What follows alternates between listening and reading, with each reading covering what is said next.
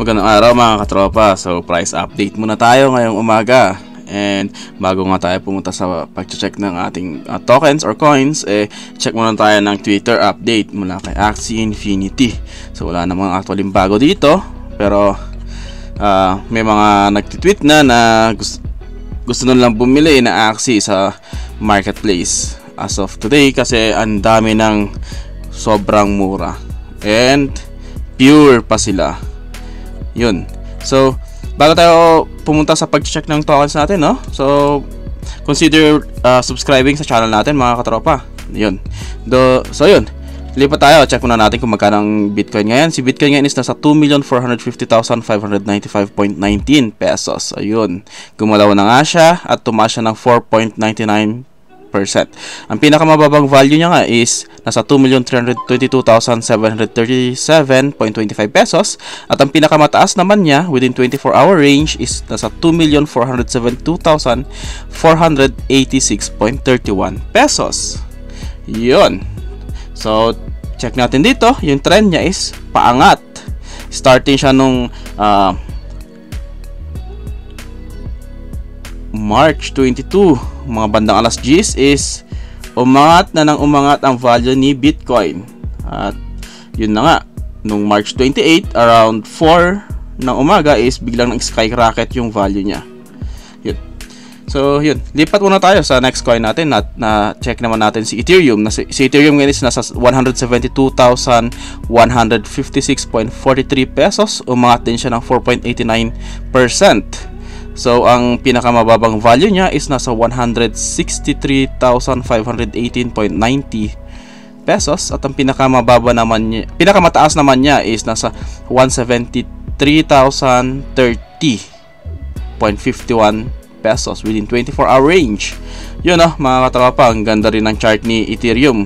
So, nung mula nung March 27 ng alas 11, eh, umangat na nga yung value ni Ethereum from 163,000 umangat siya bigla ng boom.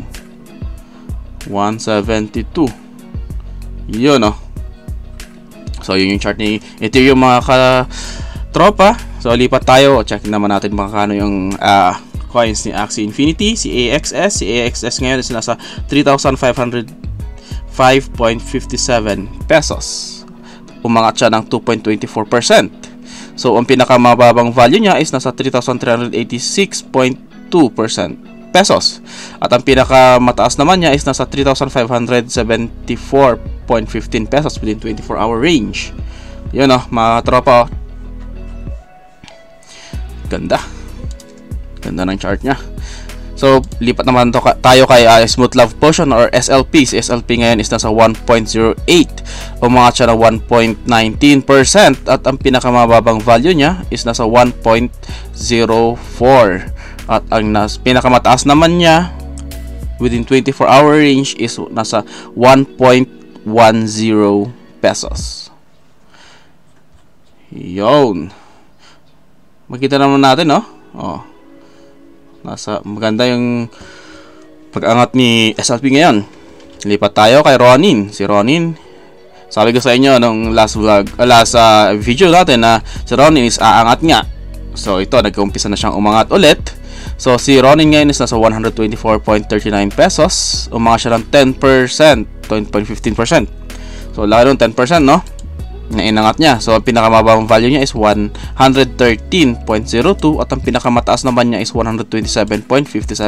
So, makikita natin sa chart mula mula inang anang mula nga nung in-announce ni Axie Infinity na mawawalan na ng free transaction yung mga floor axis. So, I think it's a good sign to buy uh, RON at a low price at that time. So, yun oh. Mula noon is sky nag-skyrocket na yung value ni Ron. Umangat siya. So, mula nga dito, I think 127.023 is biglang bumaba siya. May nagbenta. Bumaba siya ng 122. At ngayon is umaangat ulit. Ayun mga katropa, yun yung chart ni Ron. Ngayon. So, lipat naman tayo. Check naman natin kung magkano yung coins ni uh, Ape Coin. So, ito yung coin ni Board Ape Yacht Club. So, two weeks ago, I think two weeks, two weeks ago is uh, nilabas itong si ApeCoin at winantayan na natin to. Ito is nasa 300 plus pa lang siya nung nag-umpisa. Ngayon is nasa 802.77 pesos na siya. Umangat siya ng 14.3%. So, ang pinakamababang value niya is nasa 694.58 at ang pinakamataas naman niya is at 803.43 pesos within 24 hour range. Yun ang mga katropa oh. Tingnan nyo oh.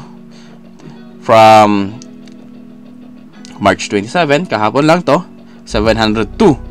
Bigla siyang umangat hanggang 802. So 100 pesos in difference, no? So yun.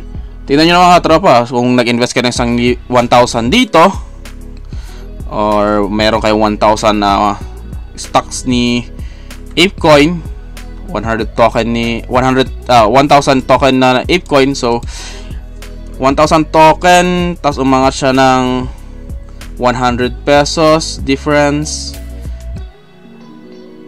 so yung value mo ngayon no ang laki na that's 100,000 in a span of 24 hours so yun mga katropa oh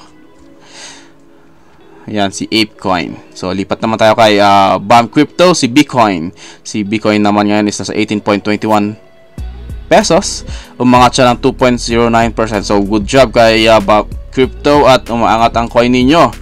So, ang pinakamababang value niya is nasa 17.72 at ang pinakamataas naman niya is nasa 19.16. So, good job, good job sa BAM Crypto game na uh, tuloy na pag-angat or tuloy na pag bigay ng magandang value sa coins at hindi naman nahirapan yung mga katropa natin dyan na nagfa-farm ng Bitcoin.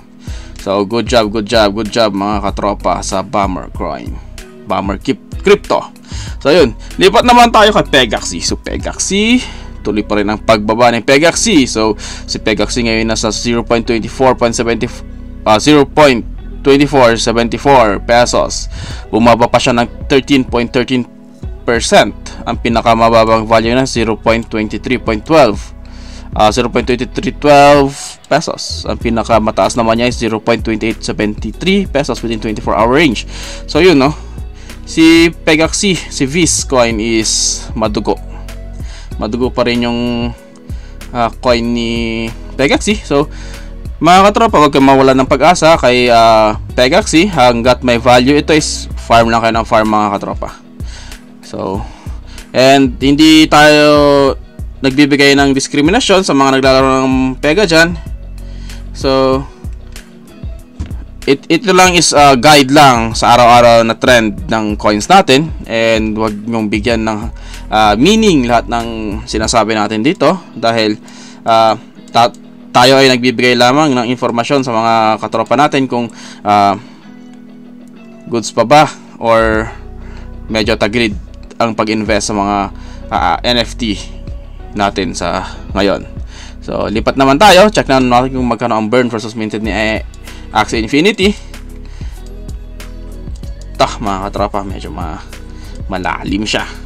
So, umpisa natin kahapon ng isang araw, nung March 26.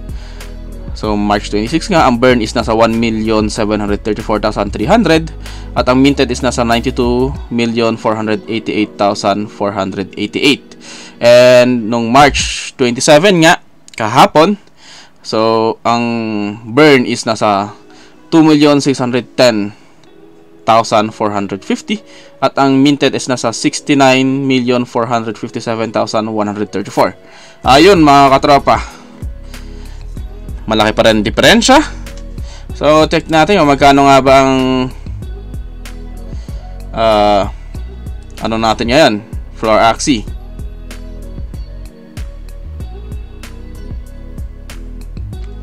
So, ang floor axis natin ngayon is nasa $23 or 0.007 Ethereum. So, yun mga katropa, maraming maraming sama sa pag-nood uh, sa ating video hanggang sa huli. And, uh, huwag nyo kalimutan mag-like, share, and subscribe. Hit nyo na rin yung notification button. And, uh, magandang araw sa inyo. Enjoy your day and have fun. Maraming maraming salapa. salamat mga katropa. Peace out.